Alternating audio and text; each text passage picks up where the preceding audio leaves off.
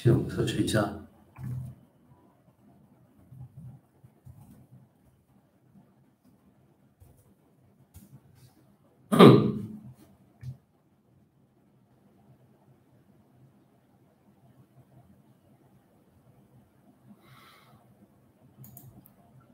好了，开始了啊！今天是二零二一年七月三十号，终极之战啊！呃，各位网友们好，就呃今天说几件事情了。呃，首先是呃昨天就出来一个消息啊，基本上是是已经确定了，就是新闻了。呃，是有关于香港呃一个叫盈富基金。然后呢，他就修改章程，然后就呃，从明年六月三号开始了，就啊禁止美国人啊就投资他们的基金 啊，就有有就有有这个事情发生了。然后呃，另外一方面就是美国的证监会。就呃基本上会宣布了，我不知道宣布了没有啊？现在这个时候，但是基本上新闻都呃通通爆出来，就说啊他们会停止中国企业去呃美国上市。这两件事情呢，呃就基本上是二十四小时之内呢就一起发生了啊呃。呃，可以说是一个一个一个对应嘛，就双方啊出招。呃，现在呃想想想先与大家分享一下，就是其实这两招啊，双方出了这两招，嗯，那个影响会在哪里啊？啊呃，我我先说一下啊，哪一方面我认为影响是。比较大的，我是认为是啊，盈富基金啊，那个明年六月三号开始啊，禁止美国人投资，呃，我认为这个影响力会呃比较大，呃，大于 SEC 呃，美国证监会不让中国企业去美国上市啊，大于这个呃，这个这个这个。这个安排的影响，呃，主要原因是因为，呃，我先说一下就盈富呃基金的一个背景了。盈富基金呢，可以说是香港的一个，我就我们可以这样说，是代表香港一个主权的一个基金。盈富基金它是在二零零三年啊，二零三年、二零零四年啊。啊，成立的是三年还是四年？我看一下啊，啊，我先查一下预防给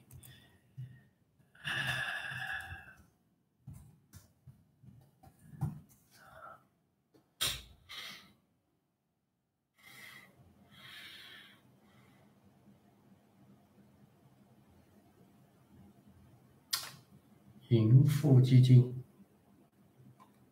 等一下啊。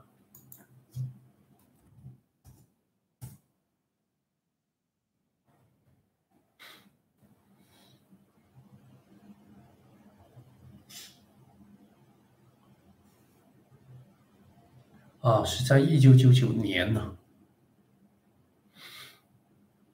啊，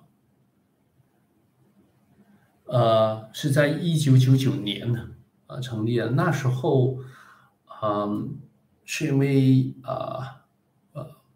就香港的呃港元的那个联系汇率被索罗斯坠击，然后呢，呃，那时候。是董建华，呃，当香港的特首，然后呢，就，呃，他底下有三个人，呃，负责，就提出这个意见，呃，然后呢，也付诸执行，就是说了用呃香港的呃那个外汇储备，就买进港股，啊，以此。来对抗索罗斯聚集联系汇率，呃，那时候是主要是三三个人负责这个事情的。根据新闻报道，一个是曾荫权，就之后那个特首；另外一个是任志刚，任志刚是呃金融管理局的呃行政总裁，然后还有一个还有一个姓许的，姓许那个是后来就呃贪腐啊，然后坐牢了，呃。我忘记了叫许什么了，许许什么人呢？啊，许世仁呢？对，呃，然后呢，就呃动用了当时这一千亿港元，然后就买进港股，然后后来就那时候在进行那个嗯呃就港股的那个防卫战的时候了。就有些学者，就有些学者呢，就提出，你现在拼命买那些股票，那买完之后怎样卖出去？难道你永远自己持有吗？那假如说政府持有这只股票的话，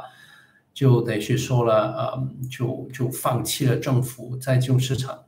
保持那个中立的形象，那对于香港的投资环境呢，造成一个极极为恶劣的一个影响，呃。那时候是没人想到怎样去解决，然后这个事情呃结束之后呢，就呃政府呢就成立了一个基金，盈富基金，然后就把呃就当时用了一千亿去呃干预那个香港的股市所买回来的那些恒生指数的股份，然后呢就放到那个基金里面，然后就一点一点。让呃香港的投资者以及呃全球的基其他的基金去认购，呃，通过这个举动呢，就一点一点把那个基金呃就转卖给啊其他的投资者，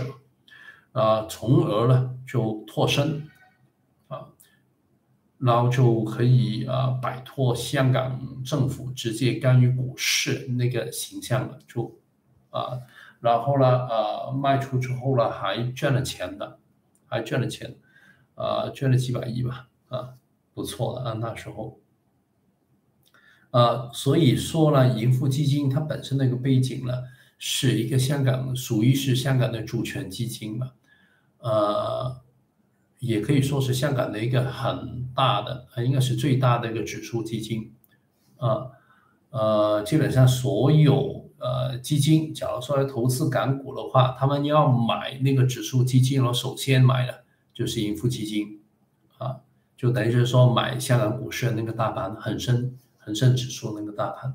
那现在的那个基金呢，啊，现就就大家可以了解到，其实那个基金就已经不属于香港政府了，啊，并并非香港政府所拥有，啊，呃，然后呢，就呃。现在他改他这个章程，因为每个每个基金有一个章章程的，章程的意思就是说，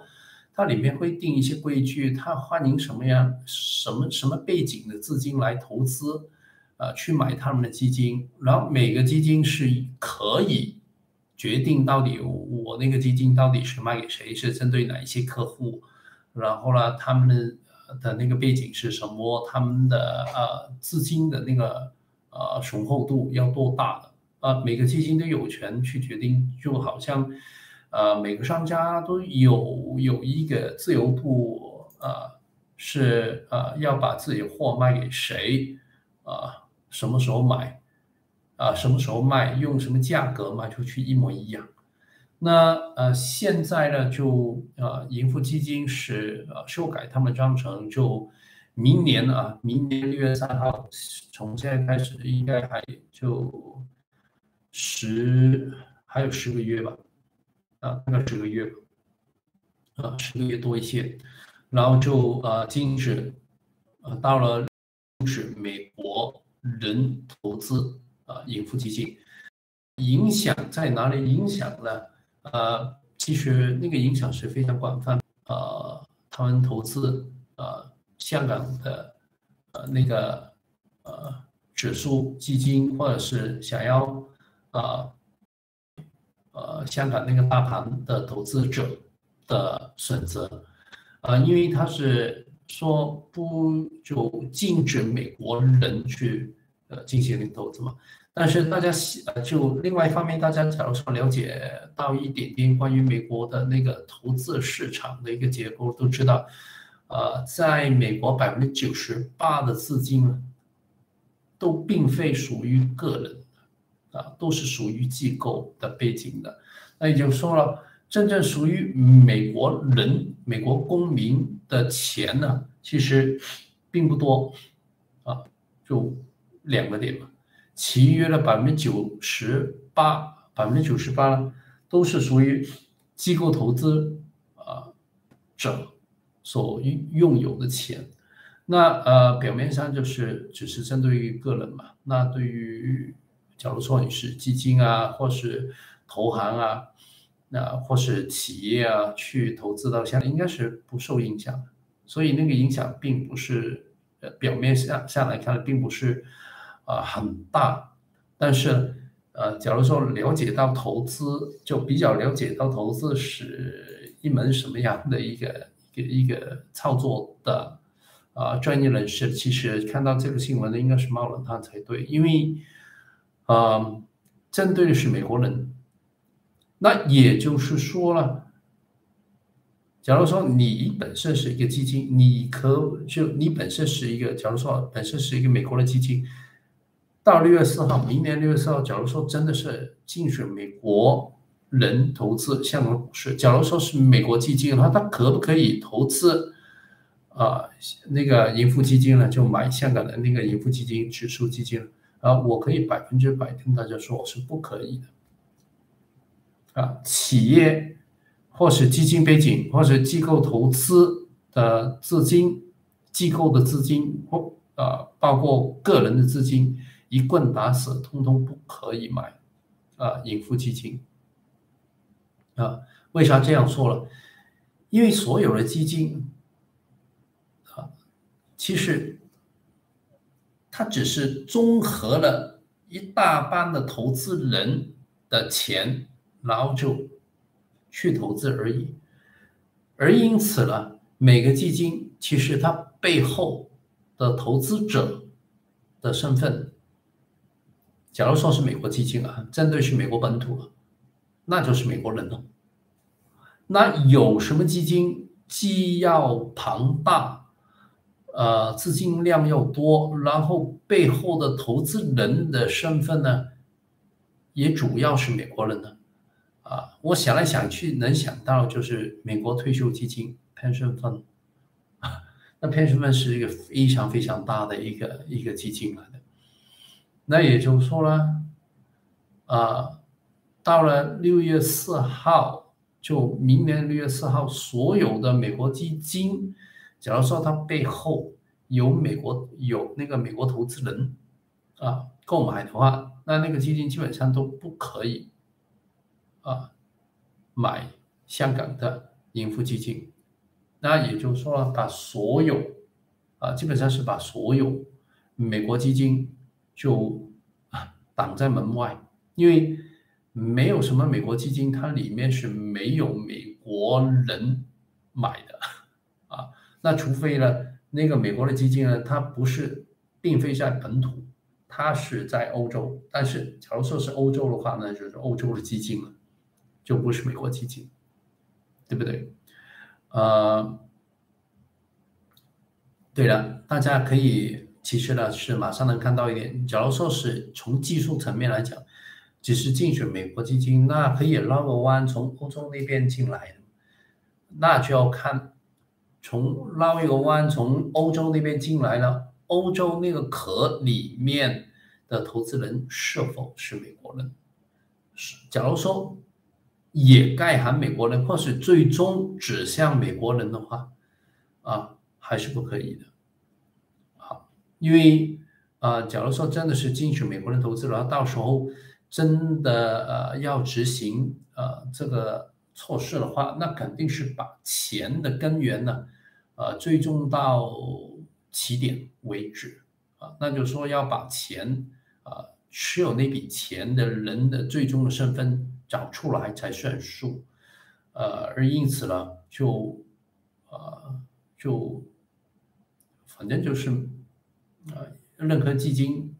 假如说背后有美国人投资的啊，都不可以买香港的股市啊，买香港的那个盈富基金，等于是说不能买香港的指数基金。那呃。另外一方面就是香港那个盈富基金其实是基本上所有基金都会买的的指数基金，为啥呢？因为你不可能一只只股份买的。假如说你想，就有些人想要啊，就投资啊香港股市的大盘的话，那肯定是买盈富基金，因为盈富基金它本身就已经把那个组合了弄好，啊，你买它一个单位就它就等于是说把所有的股份，所有那个指数的股份都已经买了。而且是按比例啊，按那个恒生指数的比例来买，呃，所以是非常方便啊，然后手续费也非常低嘛，啊，而因此基本上所有呃想要购买指数基金的基金公司了都会这样做，而不会依据指股份那样做，呃，那为啥香香港那个盈富基金要出这个修改章程的呃出这一招？呃，想来想去，我能想到，就是因为他们知道，啊，美国的退休基金基本上是啊不会再投资在香港的股市上面，而因此呢，就干脆了，不等你出招了，我自己出招，就让看上去好看一点，像好像是我主动，我不让你来，不是你不来。啊，是我不让你来，我把你挡在门外。那这样的话，就有一个，就看上去好像有一个主动权。因为假如说是美国宣布，从美国那呃是由美国政府宣布啊，现在呢我们呃不允许退休基金啦，就投资到香港股份，啊，然后就给一年的那个限期，让他们呃平仓啊等等等等。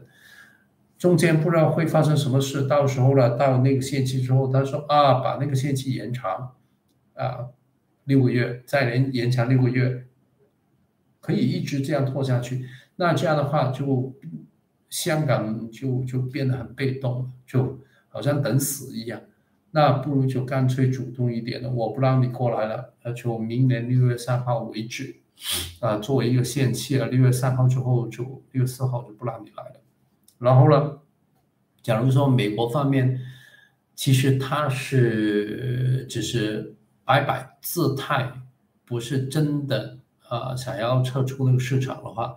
那私底下跟香港政府啊，或者是跟呃中国政府去去谈这个事情，那就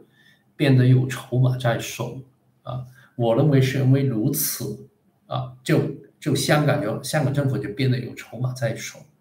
啊，而因此呢，我认为这是为啥啊，盈富基金会主动出击，就把美国的投资人呢挡在门外。呃，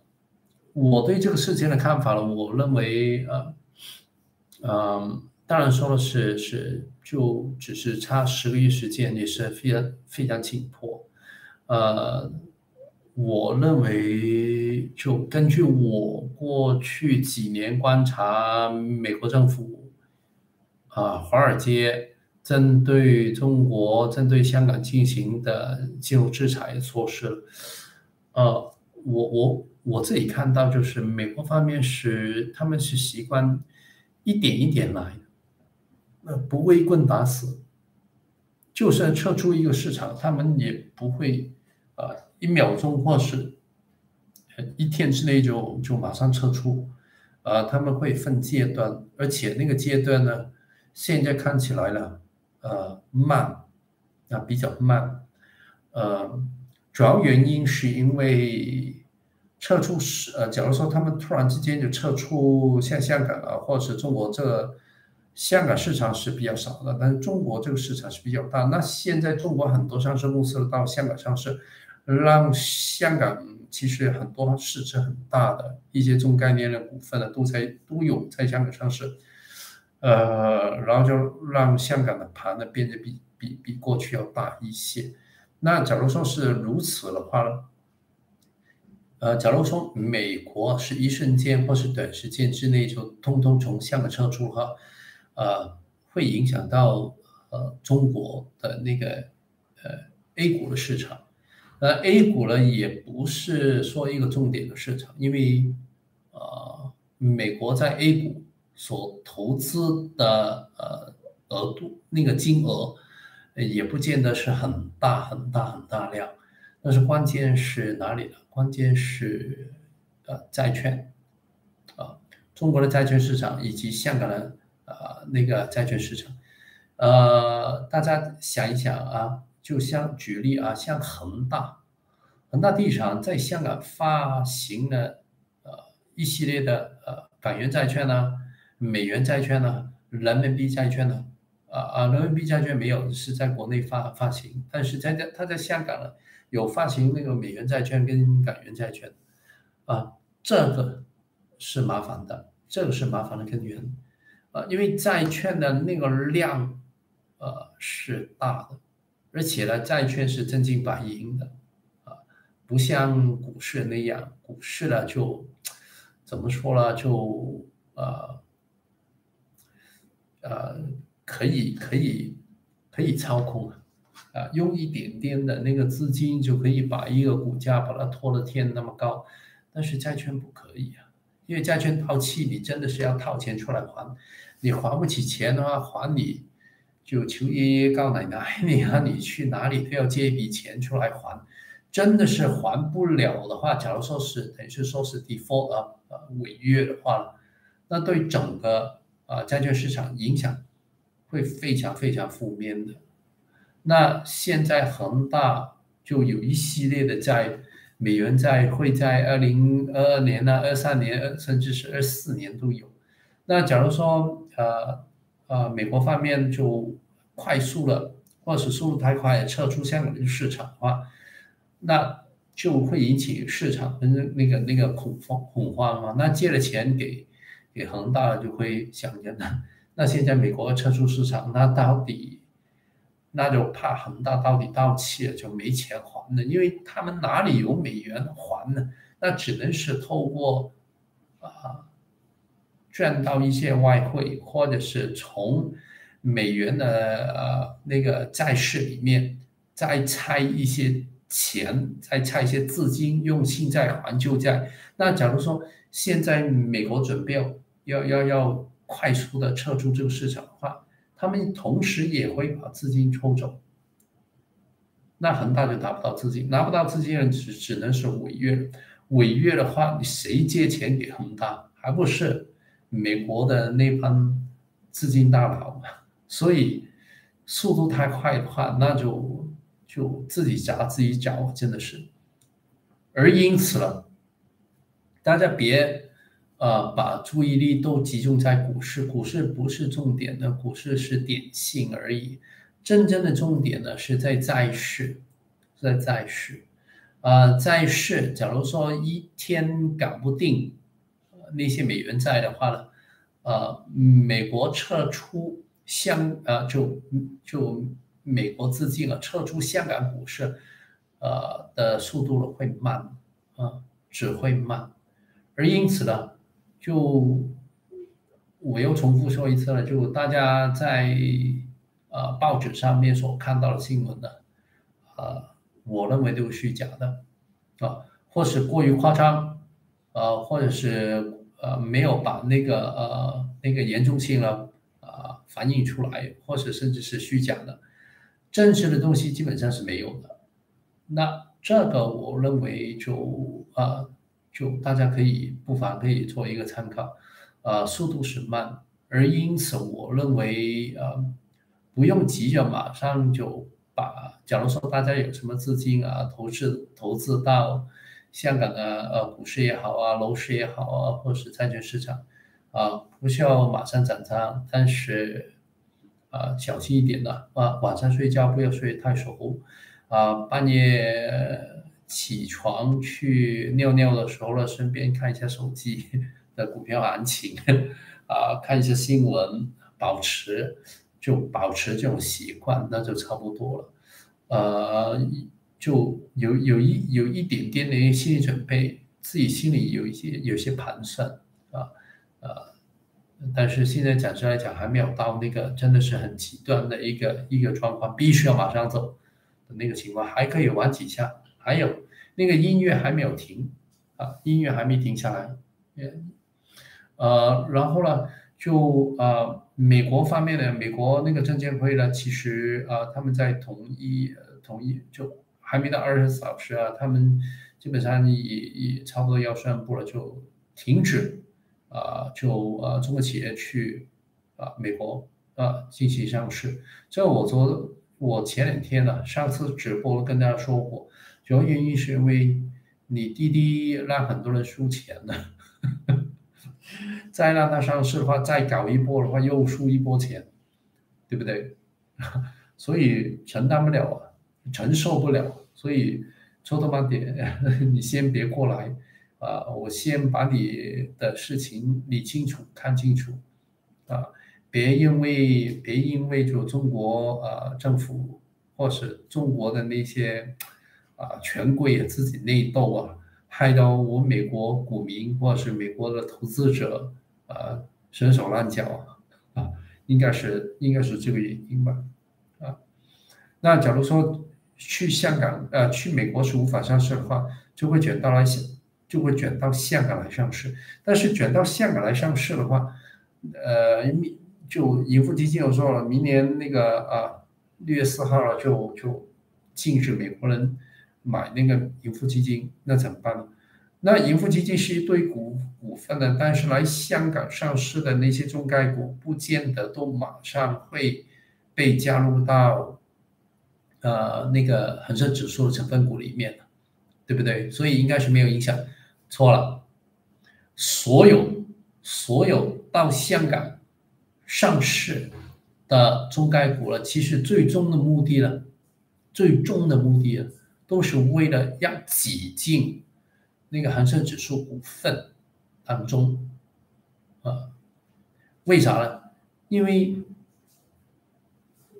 那些中概股在香港上市。其实认购的资金啊，真正认购的资金其实不多的，啊，都是左手泡右手，搞来搞去。你说香港人炒，就就我我们说的难听一点，香港人炒炒一碟菜出来呀，就所有香港人啊炒成一碟菜出来，有多少钱？能有多少钱？认购的股份都是头一天就泡了，那谁来接盘呢？真的有那么多长线的香港的长长线投资者会顶住啊，顶住这个这个中概股的股份，所有人都是不是所有人，但大部分人都是头一天赚了一点，赚了百分之二十啊，百分之十啊就抛了，然后就再再定下一次上市的股份，啊，没有多少资金会持有那些中概股了。呃，中概股有一部分是真的有一些基金去啊打桩也好或者什么，他们会持有，但是你说散户的话不多，那他们就就上市公司上市是为了要套现的，对不对？啊，只有这个目的。那怎样才能套现？就是用尽一切方法、一切手段，然后就让自己的股。股份呢可以挤进啊恒生指数，成为恒生指数成分股之一，那就搞定了。为啥这样说？因为假如说呃呃那个中概股能挤进呃恒生指数的成分股里面的话，就有很大很大的接盘侠会买他们的股票了。谁呢？啊，美国退休基金了。他们是专门是买那个呃盈富基金的嘛，还有许多呃全球吧啊，尤其是美国啊，都都在买那个盈富基金，啊，可以这么说，香港呃百分之五百分之百分之六十百分之五十到百分之六十还没到百分之六十的资金来源是美国的，那现在好了啊。去美国上市不行，现在回来香港上市可以上市，上市之后明年六月四号之后了，就退休基金也不可以买香港的呃那个盈富基金，也就是说了，你用尽一切手法挤进那个恒生指数成为成分股也没用了啊，也没人接盘了，因为那个百分之五十到百分之六十的接盘下周就已经撤了，那岂不是永远都是左手交右手？所以啊，就假如说真的要推行的话，啊，这两个组合拳呢一起推行的话。那基本上以后中概股就就去哪里都没用，啊，去哪里上市都没用，啊，没招了。而因此，我认为呢，局面表面上是很凶险，但是因为看上去非常凶险，我反而是认为，啊，暂时来看呢，不会真的在六明年六月四号就会出现这个局面。啊因为我我打赌，这一年之内，你要平仓套现，我说美国退休基金，啊，要平仓套现，他们无法做到，无法做到，谁来接盘，是吧？你要你要让中国的呃社保基金来接你盘，那么大的盘，啊，呃，不要说哪一只股份了，我随便说几只吧。呃，腾讯，呃，小米，啊，阿里巴巴，就那个叫什么？那个提款机面 ATM 嘛，对不对？美团，啊，，ATM 还有 ATMX 嘛，现在那个，呃，阿里巴巴、腾讯、美团还有小米，那我们就别啊忘记了，呃，美团，然后阿里巴巴。腾讯，他们从二月份跌到现在的，啊，基本上是跌了百分之三十以上，差不多到百分之四十啊，那个最近有一只叫比较火的叫快手，甚至是跌了百分之百分百分之四五十都有。那你说退休基金怎样脱手？脱手的话？会把那个股价会压到变，呃，不至于变零，但是跌个百分之七十是有可能的，那岂不是亏大钱吗？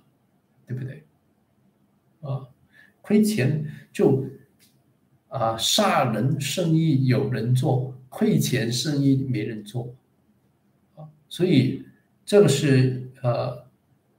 是一个技术的问题了，不是说呃。只是一个政治的一个层面所要考虑的问题。假如说亏大钱的话，退休基金啊，假如说因为凭香港那个那么大的仓位导致退休基金亏大钱，到最终影响的是美国人呢，啊，美国的打工仔呀，所以不可以说呃影响，呃影响面不广泛，而因此我认为，就算真的要进行的话，那个速度会。一步一步来，会比较慢的，啊，不会说真的是暂时我看到不会真的是六月三号之前就，啊，就把那个事情搞定了，通通清仓，不会如此，啊，因为假如说六月四号开始不可以买香港的那个那个指呃盈富基金的话，他们不会六月三号才平仓的嘛，肯定是早早半年就已经平完，也就是说从现在开始。还剩半年的话，就只剩下四个月。那四个月怎样怎样能平仓？啊，不可能的嘛，对不对？啊，而因此呢，我认为这事情应该到最后呢，应该还会有一个缓冲的一个余地。好了，呃，这方面我先说到这里了啊，大家自己看着办。呃，说两个，呃，说两个，呃呃。交易机会啊，呃，首先先说一个是那个乌巴，乌巴呢就昨天就突然之间跌了百分之五啊，从四十六跌到四十三、四十四左右的水平，呃，主要原因是因为呃那个孙正义准备把三分之一的乌巴的持股了。而不是准备就已经就交给高盛 g o m a n s a s 让他以一个打打九五折的那个折扣价了，把它以 block sell 啊，block sell 意思就是一块把它扔出去，叫人去接盘啊。而因此呢，乌巴昨天就突然之间就跌了百分之五，就是因为打折扣嘛，啊，那打折扣打那个呃打那个九五折，那也就是说，它真正的市场价应该是九五折嘛，所以就跌了百分之五。啊，关键是呢，呃，我为啥会与他说考虑看看是否是一个交易机会？那是因为。呃，高盛假如说要赚这笔钱的话，那必须要让那个股价呢，呃，高于四十四水平以上，然后他才可以帮呃，SoftBank 孙正义把这一大块的那个呃乌巴的股份呢，啊，把它卖出去。啊，因为市场价，假如说是举例啊，假如说市场价是四十五，你打一个折，你四十三卖出去，有人接盘，对不对？所以关，因此呢，关键是以是否高盛有办法了，而让啊五把这个股份呢，啊就涨到四十五，啊涨到四十五、四十六那样。然后呢，就有那个水位嘛，那就变成有人会接盘。那假如说，呃，没有那个水位的话，那那个东西就卖不出去了，那块股份就卖不出去了。啊，呃，炒就是炒这个，到底告诉能不能让五把的股份呢炒到？因为它是从四十六跌下来，炒回到四十六、四十七了，甚至是，啊，呃。我先说我自己的看法，我对于这一个交易的机会了，我我自己没参与，我考虑过，啊，我啊我没参与，主要原因是因为利润空间不多，啊，嗯，赚就赚，可能是赚个百分之三、百分之四左右，现在是多少？我看一下，五把的股份，嗯哼。五宝现在四十四点三二，呃，差不多了，也不是说非常差的一个股价啊。但是假如说呃早上去呃可以有百分之四甚至是百分之五的利润空间，但是假如说报升不成功，那怎么办呢？啊，五宝这一个股份，我认为是我不愿意长期持有。我不认为我长期持有它可以回回加商，回到四十四块，假如说跌下去，因此我认为啊不够细啊，这是我的看法。然后另外一个是啊亚马逊，亚马逊呢昨天宣布呃昨天收盘之后就宣布那个业绩，然后呢啊今天开盘呢就跌了百分之七以上。啊，是否可以去抄底了？这个呢，我认为呃，吸引的。啊，先说一下，就啊，亚马逊为啥会跌百分之七啊？其实前两天也有一些网友，啊，就留言说，就亚马逊呢就开始开始那个去呃查那个刷单的那个情况，然后就把刷单那些商家就。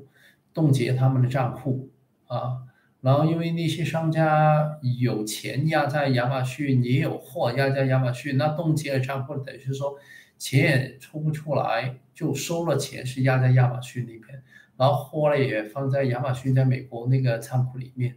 啊，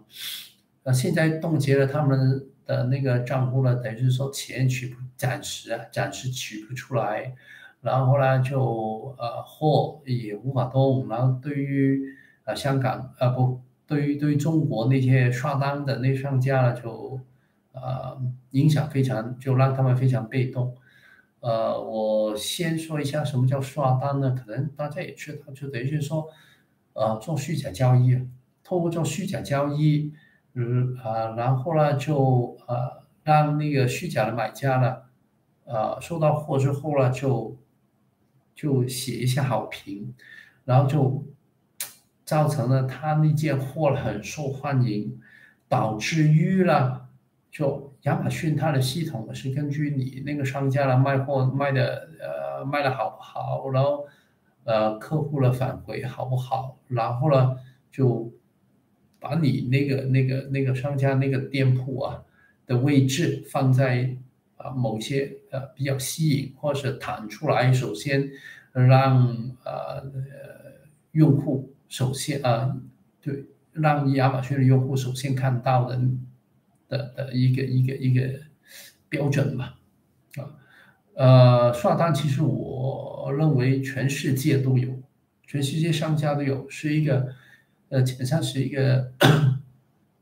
啊，就心照不宣的一个一个行为呀啊！你不是你不刷单，人家刷单，然后人家排在你上面，或者是人家就就就可以可以被亚马逊放在一个更加显眼的一个地方，然后做到更加多的生意。那你不想你不刷单，你吃亏啊！啊，然后呃，你说虚假交易啊？你说说可不可行？那现在是钱，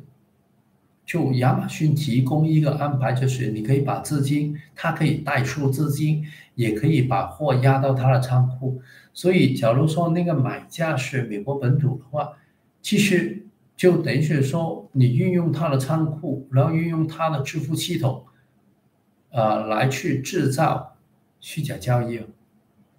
那这个过去来讲呢，是一家就等于是双双赢啊，商家他自己靠靠刷单作为虚假交易，他也做多了，呃，他也就多做生意。以亚马逊呢，也因为那些虚假交易，就让他们的呃，就就业绩呢也冲了一些水分，然后。那个股票价格呢，也因此提高，啊，而因此呢，亚马逊，我认为亚马逊一直以来都是知道，但是没有直接就针对性的去针对那些刷单行为，啊，你说公益嘛，公益与利益，其实在商业社会里面呢，啊，公益是放在一个比较低的位置，没办法啊，那。好了，那现在呢？呃，亚马逊呢，终于是针对那个刷单的情况呢，他们就开始对症下药了，也就是说捅了自己一刀。而因此，因为它小了那些水分了嘛，它的交易量一定会呃增长，一定不不会像以前那么快。而因此呢，呃，股价的下跌，那值不值得去抄底？我认为是可以的，我认为是可以的。那为啥这样说？大家想一想，假如说你是亚马逊那个 CEO，啊，CEO 是换的，换的人的，过去是那个呃 Jeff Bezos，现在是 Jeff Bezos，做了那种刷单的事情做太多了吧，然后就退下来，退下来了，新新上来那个 CEO 呢就把那个泡沫刺破了，就好像马云呢是吧？啊啊，通常都是都是如此吧。那个泡沫吹最大，然后就自己就退下来了啊，然后接手那个人呢，就看到那个泡沫，就就你不刺破，你继续吹下去，总有一天你自己会受罪。那不如自己真上台的时候，就还不需要承担太大的业绩上面的责任，就刺破那个泡沫，然后就把那个责任推给啊制造那个泡沫出来的上一手。但是因为上一手也退位了，所以就等于说是安全角。角落，然后呃，为啥我认为呃可以可以抄底了？那是因为，假如说亚马逊，他知道我刺破这个泡沫了，他自己股价会下跌。难道他刺破之前不会预先呃做好一些呃预备措施，或者是呃做好一些计划，然后就呃让那个股价？跌下来的时候，他们可以啊，从而可以可以获利啊。那为何不这样做？对不对？因为这是他们自己可以控制的。假如说这个风险是不能控制，它根本就不会刺破那个泡沫。假如说它能刺破那个泡沫，他们肯定有有后手，他们知道怎样去护那个股价，或者是啊，甚至是从中获利，啊，炒一波，对不对？而因此呢，我是认为呢，呃，是可以去抄底的，啊，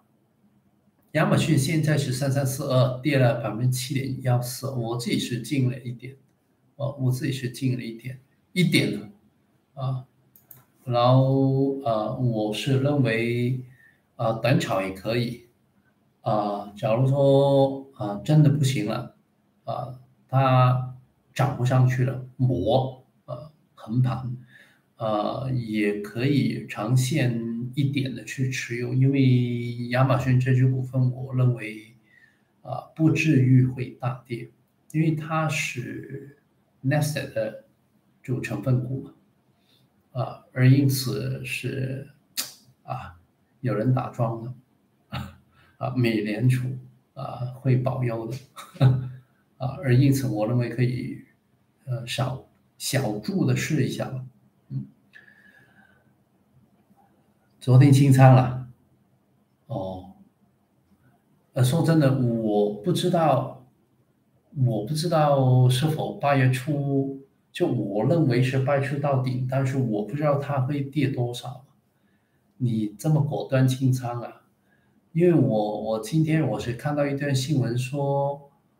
啊，就那个苹果又发债了。苹果发债通常呃，通常都是为了要。就啊，购买自己的股份呢，啊，就知道自己股份差不多要跌了，所以就发债，然后发债过来的钱呢，就买自己的股份，然后就支撑自己的股价，啊，而因此呃，可能就苹果的股份会跌，但是我我认为会呃有个底吧，因为它有钱去支撑。啊哦，胆小，行，好，今天我们先讲到这里啊。今天是二零二一年七月三十号啊，中级是这样啊，各位晚安了啊，嗯，拜拜拜拜。